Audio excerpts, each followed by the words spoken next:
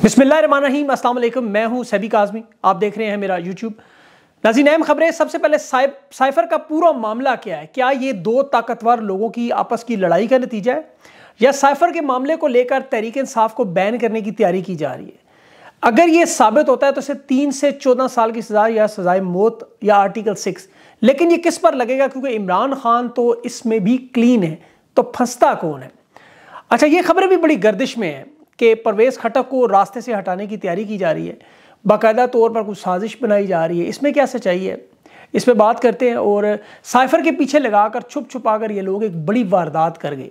वो बताना ज़रूरी है परवेज़ लाई को सेंट्रल जेल लाहौर से अडयाला जेल मुंतकिल किया गया। अब उस पर काम ज़्यादा तोजो से और करीब से होगा। एम के एम को इस्तेमाल करके ये लोग इलेक्शन मुलतवी करवाने की भी कोशिश कर रहे हैं और सोशल मीडिया पर बैन लगाने का मामला और ये एक्स सर्विसमैन नून लीग के सबक सेनेटर हैं जनरल अब्दुल कादर साहब रिटायर्ड हैं। उन्होंने ये मामला किया है इसहाक डार के इकबाली बयान और आज़म खान के इकबाली बयान में क्या फ़र्क है? अगर इस वक्त आप कल से ये प्रोपेगेंडा सुने, जो मैं आपको अभी बता देता ताकि अलर्ट हो जाए कंपनी के सहाफ़ी ये फैलाने जा रहे हैं कि सेनेटर आज़म खान स्वाति और इमरान रियाज खान। जी हाँ इमरान खान के ख़िलाफ़ गवाही के लिए लोग तैयार कर रहे हैं। ताकि मिलिट्री कोर्ट ट्रायल की राह हमवार करे और इलेक्शन से पहले इमरान खान को गिरफ़्तार करके सजा दें। बिल्कुल बकवास है, इस पर आपने ध्यान नहीं देना। लेकिन इस सवाल का जवाब हमें मिल गया कि इमरान रियाज को क्यों अगवा किया गया? जब आज़म खान को सामने लाया जाएगा तो ज़रा सोचें कि इमरान रियाज कंपनी के इस बयानी को तबाह किस तरह कर देता? ये इमरान के पास तमाम मालूम मौजूद थी। इमरान रियाज को इसीलिए एक सोचे समझे मंसूबे के तहत अगवा किया गया। ये पिछले पैंसठ दिनों से इस चीज़ पर काम हो रहा है कि किसी तरह इमरान रियाज को तोड़ा जाए, दफ़ा एक सौ चौंसठ के तहत वादा माफ़ गुआ बनाया जाए। लेकिन आपको पता है इमरान रियाज वफा का दूसरा नाम है। इस चीज़ का आपको अंदाज़ा है, इमरान के बोलने से ना मसला ज़रूर था, लेकिन इससे भी बड़ा मसला उसे इमरान खान के ख़िलाफ़ इस्तेमाल करना।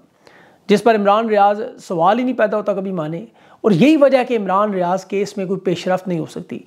अभी तक वो, अल्हम्दुलिल्लाह ठीक है, लेकिन मामला आगे चलेंगे। आज़म खान स्वाति के बारे में भी ये मामला, लेकिन आज़म खान जो अभी वादा माफ़ गुआ जिसके बारे में शोर मचा है ये मामला क्या है? इन्होंने बहुत बड़ा ब्लंडर मार दिया कंपनी ने। इन्हें अब समझ नहीं आ रही कि करें क्या। एक तरफ़ ये आज़म स्वाति को भी आपको पता है इसी अंदाज में पेश करने की कोशिश कर रहे हैं।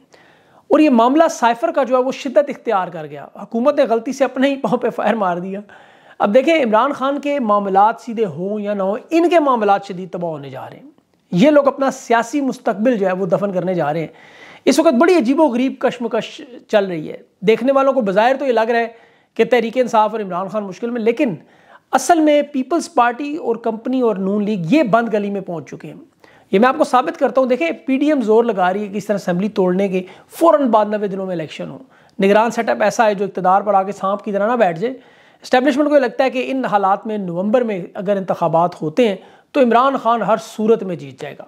इसलिए उन्हें कम अज़ कम छः महीने से आठ महीने चाहिए। और पीडीएम को लगता है अगर ऐसा हुआ तो ये आठ दस महीने से ग्यारह साल का मामला चला जाएगा। और पीपल्स पार्टी फिर मजबूरन सिंध की हद तक रह जाएगी और उसी में वो खुश हैं। नून लीग भी चाहती है नवाज़ शरीफ के केस ख़त्म हो और कम अज़ कम उनके बच्चों की सियासत आगे चलती रहे। लेकिन मामला इस वक्त निगरान वजी अजम एक ऐसा सियासतदान मान रहे हैं जो स्टैब्लिशमेंट की तरफ़ उसका झुकाव ना हो, बल्कि सियासतदानों की तरफ़। ब्लैकमेल ना किया जा सके, दबाव उस पर ना बढ़ाया जा सके। और नए पुराने ड्रामे, आपको पता है कि पैसे नहीं है सिक्योरिटी नहीं है, मरदमशुमारी है इलेक्शन कमीशन है, फलां डमका ये करके वो उन्हें इकतदार रुकवाया ना जाए। और ये इलेक्शन करवाने में इनकी मदद करे जा रहे हैं। और जिन लोगों को साइफर का नहीं पता असल में, ये बड़ा हसास नोयत का एक पैगाम लिखने का खुफिया तरीका है। इसे आपको पता कोडेड ज़बान इस्तेमाल होती है। आम बंदा तो इसे डिकोड नहीं कर सकता, इसके लिए स्पेशल जो एक्सपर्ट रखे जाते हैं। पाकिस्तान की जो मिनिस्ट्री ऑफ़ खारजा उसमें ग्रेड 16 के तकरीबन 100 से ज़्यादा इस वक्त ऑफिसर्स हैं, जो यहाँ भी मौजूद हैं और दुनिया के बाहर सफारत खानों में भी हैं। अमेरिका में जब असजद मजीद तैनात था तो अमरीकी सफारतकार डोनाल्ड लू ने उसे वाशिंगटन में बुलाया था। एक बड़ी अहम मुलाकात। ये वो वक्त था जब रूस यूक्रेन पर हमला कर चुका था और इमरान खान रूस के दौरे से वापस आए। अमरीका शदीद नाराज़ था, अकवा मुतहदा में वोटिंग होनी थी, सारा मामला थे। पाकिस्तानी सफ़ीर ने इसको बड़ा अहम समझा और दफ्तर खारजा को बता दिया और फिर सारी मुलाकात के लिए अपने सेक्रेटरी लेकर मिनट्स नोट करने और टेक्नोलॉजी को आपको पता है इस्तेमाल करते हुए पाकिस्तानी सारी गुफ्तु भिजवा दी। ये था साइफर। इसकी आपको पता है कापियाँ असल तस्वर की जाती हैं और इसके जो एक महीने के अंदर अंदर इसको वापस भी भेजना पड़ता है। अब इसे डी किया गया, इसका पैगाम निकाला गया, दफ्तर खारजा के लोगों ने फैसला किया कि कहाँ से वजी अजम सदर, army chief D G I S I इन सबको भेजना है। अच्छा मज़े की बात यह है कि उस वक्त बाजवा साहब को ये पैगाम मौसू हो गया। आर एफ़ अलवी साहब को भी मिल गया। D G S P R I I को भी मिल गया, लेकिन इमरान खान को नहीं मिला। इमरान खान से एक कापी छुपा ली गई। दफ्तर खारजा का जब ये पैगाम नहीं मिला तो ये वैसे भी परेशान थे कि ये ना हो, ये पैगाम किसी और के हाथ लग जाए। शाह महमूद कुरेशी के इल्म में बात आई, उसने इमरान खान को बताया। और यहाँ पर जो सबसे अहम बात समझने की कि इसे अगर पब्लिक कर दे साइफर, क्यों इतना मामला बना हुआ तो ये गैर कानूनी है, क्योंकि जो कोड इसके ऊपर है, वो बड़े महफूज रखने पड़ते हैं। किसी दूसरे मुल्क के हाथ लग जाए तो फिर आपकी कम्युनिकेशन जो है, वो सिक्योर नहीं रहती। वो पढ़ सकते हैं मुस्तबिल में भी इसको, इन चीज़ों को आपको पता है, रास्ता निकाल सकते हैं। इसीलिए इसको बड़े मखसूस लोगों को सिर्फ़ भेजा भेजा जाता है। दो तरह के, एक तो आम जो टेलीग्राम, ईमेल, ये जैसे आपका व्हाट्सएप मैसेज के आले, लेकिन दूसरा जो होता है वो बड़ा सिक्योर होता है। और उसमें यह भी कि कौन सी मालूम किसको भेजनी है। अब दफ्तर खारजा के जो अफसरान है, बाज़ का तो उसको रीफ्रेज करते हैं मतलब पूरा बदल देते हैं पैराग्राफ उसकी तफसीत उसकी मतलब तरतीब, तर्जमा, और ये तर्जमा अक्सर भेज दिया जाता है ताकि पढ़ने वाले को समझ आए कि इसमें लिखा गया है।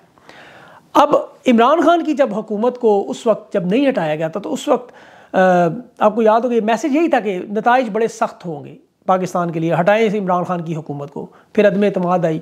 फिर आपको याद है, लोग कहते हैं जी, माजी में भी आए, बड़े साइफर बिल्कुल आए, धमकियाँ आई मुशरफ को मिली जुल्फ़ाली भुट्टो को मिली जयाल हक को भी मिली। लेकिन ये सब लोग सर नीचे करके वो तमाम बातें मानते रहे। इमरान खान आज़ाद खारजा पॉलिसी, आपको पता है अपनी मखसूस शख्सियत ला ला की वजह से पाकिस्तान की सालमियत में से हमला समझ रहा था।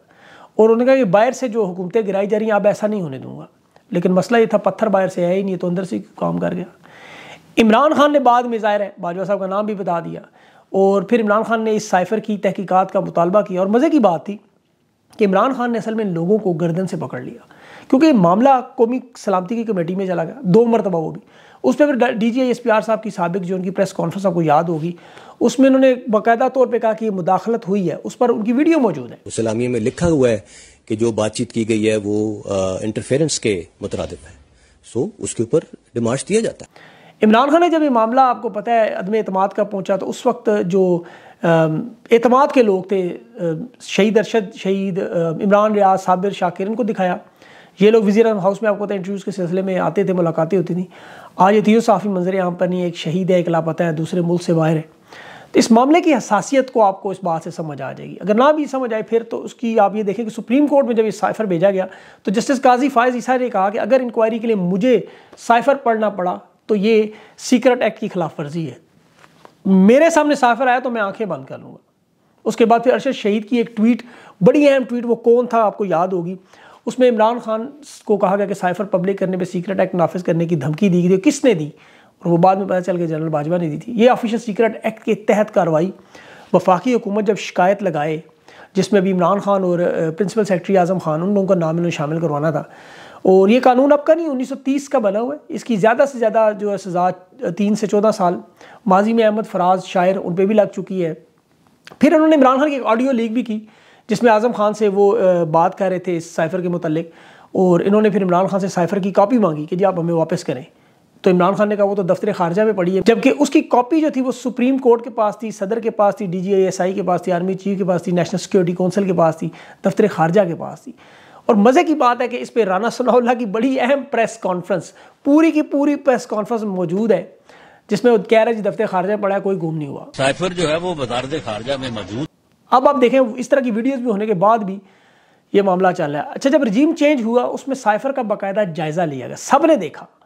और उसके बाद प्रेस रिलीज़ में साइफर को झुटलाया गया, कहा गया, और अब कहा जाए जी साइफर गायब हो गया। फिर कहते हैं, जी मीटिंग में सबने देखा भी और गायब भी हो गया। इसके बाद आपको पता है, दो सहाफ़ियों ने, हामिद मीर साहब और नजम सेठी, इन दोनों ने दावा किया कि इनके पास भी साइफर की कापी मौजूद है। फिर इमरान खान ने जब जलसे में वो कागज़ ले रहा है उस पर तो सलीम साफ़ी ने दावा किया कि इसके अंदर कुछ नहीं लिखा। ये बिल्कुल एक प्लेन कागज़ है। ये झूठ झूठ है। अगर सच हुआ तो मैं सहाफ़त छोड़ दूँगा।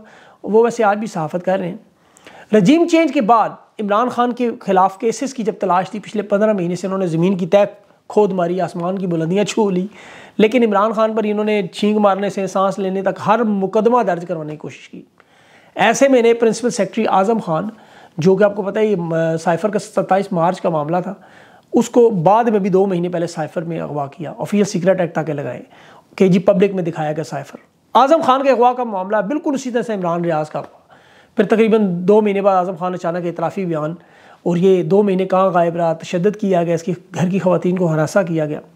अब जिस तरह नवाज़ शरीफ के दौर में आपको पता है, इनकी जो प्रिंसिपल सेक्रेटरी थे एक क्लास जेल में रखा था। मीडिया भी सहूलत थी, सब कुछ था। अब साइफर के मामले में बहुत से सवाल उठ गए जिसमें हुकूमत जो है बुरी तरह फंस गई है। और ये साइफर अगर झूठा था तो कौमी नेशनल सिक्योरिटी में मुदाखलत क्यों कहा गया? अगर ये झूठा था तो फिर डिमार्च क्यों किया गया अमरीकी सफ़ीर को? काजी फायज की अदालत में जब पेश किया तो नाकबिल समात क्यों करार दिया? आई एस पी आर ने क्यों कहा कि इसकी साइफर की तहकीकात हमने की है, मुदाखलत का जो है, मामला है? अगर जैली था तो फिर जो ऑडियो आई, इमरान खान की और इन्होंने लीक की, वो क्या झूठी ऑडियो थी? तो इसमें इख्तलाफ बहुत सारे लेकिन बात साफ़ है, साइफर था, है और रहेगा। जुडिशल कमीशन का मुतालबा भी इमरान खान ने किया। अभी आर्टिकल सिक्स का सीधा सीधा केस है और इस पर फंसते हैं बाजवा साहब। अब इस सारे मामले को मिटाने की जो कोशिश की थी, वो इनकी अपने गले की हड्डी बन चुका है। ना उगल सकते हैं, ना निगल सकते हैं। और ये इनसे सबसे बड़ी गलती। इन्होंने मंसूबा बनाया कि मीडिया में खबर फ़ीड करेंगे, अपने करीबी जो टाउट सहाफ़ी हैं, उनको चुनाव किया गया। इनमें आपको पता है आठ दस नाम है। इमरान, जैसे वो हामिद मीर है, गरीदा फ़ारूकी मुनीब फ़ारूक, सलीम साफ़ी, कामरान, शाहिद कामरान खान, वगैरह वगैरह वगैरह। इन लफाफों को मीडिया पर बोलने का एक स्क्रिप्ट दिया गया, लिखा कि ये बातें आपने बोलनी है, लेकिन चूँकि लोग ज़्यादा आपको पता है, सारी की सारी उन्होंने मीडिया पर वो ट्विटर पर डाल दी वो ट्वीट और ये बुरी तरह फंस गए उसमें। आज़म खान के हवाले से लोग कहते हैं जी कि हमारी तहवील में नहीं है। अब सादा कागज़ में, सादा तहरीर पर सहाफ़ियों को हदायत और वो भी इस पर प्रोपेगंडा करें। और मज़े की बात है, मरियम औरंगज़ेब ने वो नाम भी बताए कि आपने किस किस को फ़ोन पे लेना है किस किस से इंटरव्यू करना है क्या क्या सवाल पूछने हैं। पूरी तफसील से नाम है वो, शहबाज गिल ने किए हुए हैं अब वो इमरान रियाज के अगवा के पीछे भी फिर यही मामला है कि किस मजिस्ट्रेट के सामने आज़म खान का बयान रिकॉर्ड हुआ। इसी तरह इमरान रियाज के ताने बाने भी यहीं मिलेंगे आपको। नवाज़ शरीफ के केस में आज चीमा और आपको पता फवाद हसन को गिरफ़्तार किया गया था। करप्शन केस में अब इसका कोई केस नहीं था आज़म खान का। तो उससे एक बाली बयान फिर का, जिसकी कानूनी तौर पर कोई हैसियत नहीं। माजी में परवेज़ मुशरफ के दौर में मुंशी इसहाक डार साहब जो है इनको बंदूक की नोक पर हुदैबिया पेपर मिल के मामले में सुल्तानी गवाह बनाया गया था। वो हालाँकि बड़ा ओपन शट केस है लेकिन आज तक जस्टिस फायजीसा साहब ने तो कह दिया इस पर मीडिया में बात भी नहीं कर सकते। तो उसको ऐसे बंद किया गया। अभी शहबाज गिल ने भी ट्वीट की कि उन पर बड़ा शदीद तशद इसीलिए करते थे कि तुम भी एक सौ चौंसठ के तहत जो है वो बयान दे दो। और फिर बाद में जो सहाफ़ी थे बड़े बड़े तल्लत हुसैन वगैरह, ये, इन्हें टिकर भी चलवा दी कि शहबाज गिल मादा माफ़ गुआ बनने जा रहा है। अब ये लोग यही वारदात आज़म स्वाति और इमरान रियाज के बारे में प्रोपेगेंडा करने जा रहे हैं। लेकिन मैंने आपको पहले इसीलिए बता दिया, आप अलर्ट हो जाए, आपको ऐसी चीज़ें नज़र ध्यान ना दें उस पर इमरान खान ने भी कह दिया कि जब तक आज़म खान नहीं कहता, मैं उसे तस्लीम नहीं करता, उनका भी रिएक्शन आ गया। और अभी जो इमरान खान का आपको पता है ब्लॉग होगा आज का, वो बड़ा चित्रोल टाइप होगा। और इसके और भी बड़ी बात है, देखें, इसका नतीजा ये है, सोशल मीडिया पे ये बड़ी बहस जो चल रही है कि परवेज़ खटक अगर डिलीवर करने में नाकाम हुए तो उसके साथ क्या करेंगे? वो एक लाइबिलिटी बन चुका है। उसे कोई पार्टी लेने को तैयार नहीं, उसके अपने घर वाले से नाराज़ हैं। आपको पता है, उसे इमरान खान पर डालने की कोशिश की जाएगी, रास्ते से हटाएँगे। ये कोशिश करेंगे पूरी, जान छुड़ाएँगे, ताकि जान छुड़ा के इमरान खान को इसमें फ्रेम करें कि वो मुखालफत इनकी थी, क्योंकि वो वकील वाला, कोयटा वाला केस किसी काम का नहीं निकला। तो अब इसमें परवेज़ खटक का जो है वो नाम आ रहा है कि अब परवेज़ खटक को मोहतात होना चाहिए, महफूज रहे, वैसे उनकी हालत आपको पता पहले ही बड़ी नाजुक है।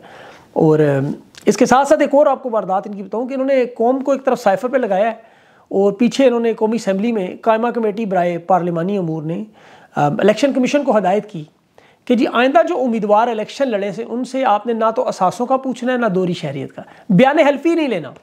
मगर अंदाज़ा करें, पाकिस्तान से लूट कर आप दौलत बाहर ले जाएँ उस मुल्क की शहरीत ले लें, वो माल सारा खर्च करें।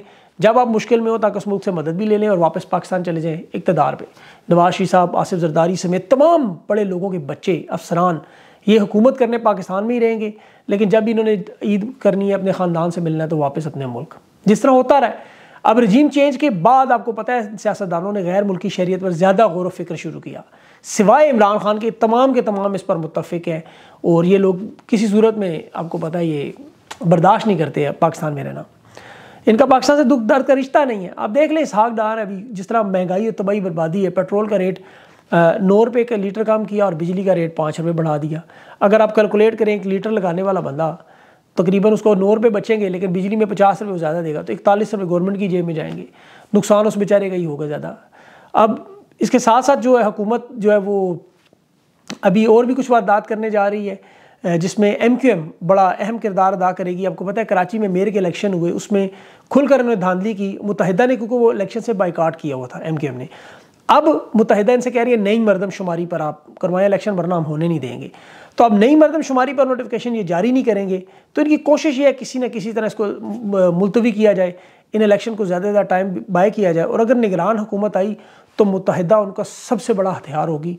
और उनकी पूरी कोशिश, अभी जो नवाज़ शरीफ और आसिफ अली जरदारी की एक और मुलाकात दुबई में तय होगी है।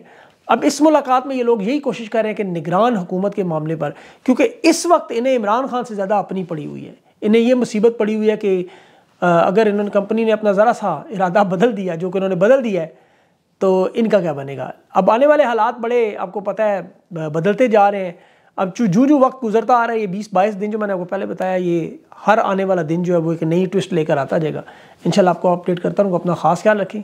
मुझे अगली वीडियो तक के लिए इजाज़ अल्लाह हाफिज़।